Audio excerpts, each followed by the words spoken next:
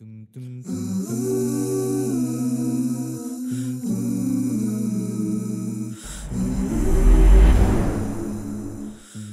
friends, our Prophet ﷺ has told us how the news reaches the gates of Illiyin, of whoever is coming from this earth. And they there in Illiyin are always saying to the angels, who's coming, who's coming, who's coming. And when they say it is Munawwar Hussein, who's from E1, yeah? Whatever street that might be. Yeah, Munawwar Hussein in E1 in the heart of Whitechapel is coming up. You know Munawwar Hussein's dad, his mom that went before, maybe his granddad and his great grandfather and his uncles, and they come rushing forward, is any family members they'll come rushing forward to the entrance of the gate. They want to receive their child, their grandchild. And when he enters, he now realizes if he's a good soul only, if he's only a good soul, this happens. He now realizes that he's got a whole family out here. Not just the ones he's seen. He hasn't seen his great great great grandfather. Even he looks at him and they catch up on news and his father, mother, and others say to him, How's your sister? How's that son of yours? How is so and so? What about the other one? Did she get married? Has she, she married yet? They catch up on news of this world. That's the first thing they do. But if it's a bad soul, then they go to Sijin and they don't see any families there whatsoever. And what a life that would be for a person to live, live in this world and to end up in Sijin. May Allah Azza wa forgive us. May Allah protect us from going there. Say Ameen.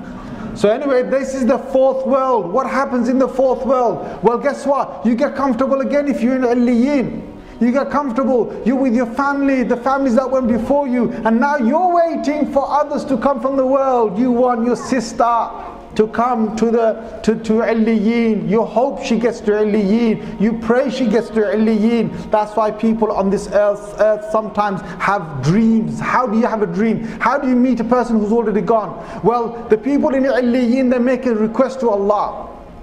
Oh Allah, I'd like to see so and so of my family member in the world in a dream. If only Allah wills, they get the get the they get the wish granted. So what happens? What happens is, Subhanallah. Think of this. This is amazing. This is amazing, and this happens every single night.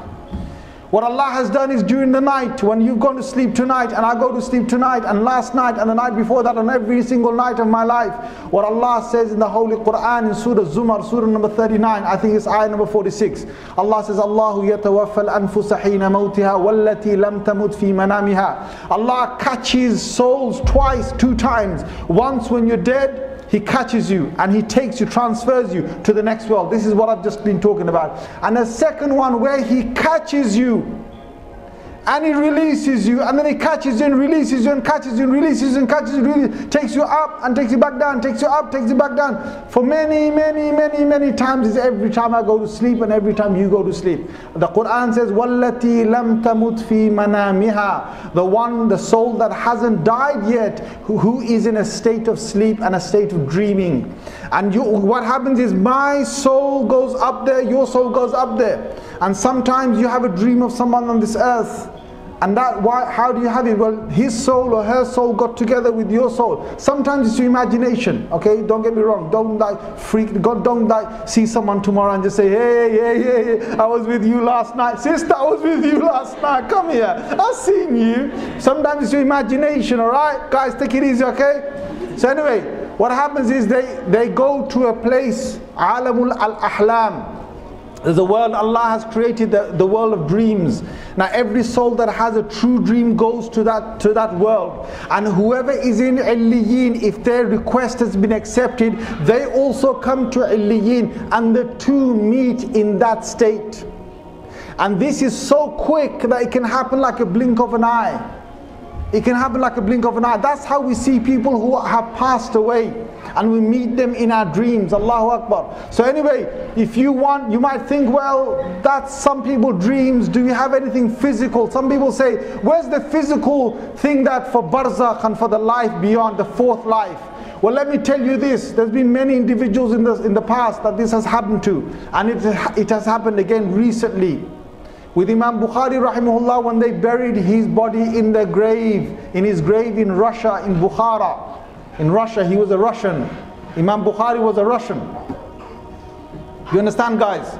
We need to tell Putin that. Imam Bukhari was a Russian, Allahu Akbar. Anyway, he, when he was buried in his grave, there was a fragrance, a very strong fragrance of itr and uh, of, of great, great fragrance of a nice smell coming, strong, so strong that they'd never, they'd never smelled anything like this. So the people came to his grave straight after his janazah and they took soil from his grave. They took it home. This was like a whole piece of soil that's got this fragrance. You could rub it on your hands, you could rub it on your, on your body, on your skin, and you've got really nice fragrance. So people then flocked to his grave for three days. Every day they would take take soil, handful of hands full of soil. And then the ulama in his time, they made dua to Allah. They said, Oh Allah, please stop this because the bid'ah is going to stop. And they said, Oh Allah, please take this fragrance away because we have to carry on refilling the grave every single day. Can you imagine? Otherwise, they'll take all the soil from his grave. On the third day, it stopped. This is a well known piece about his life when he died, Imam Bukhari rahimahullah. And he's a very famous person that most of us are acquainted with.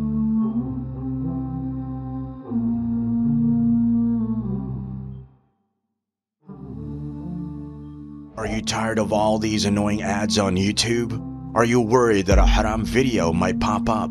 Well, the One Islam TV app is here to solve these problems, inshallah.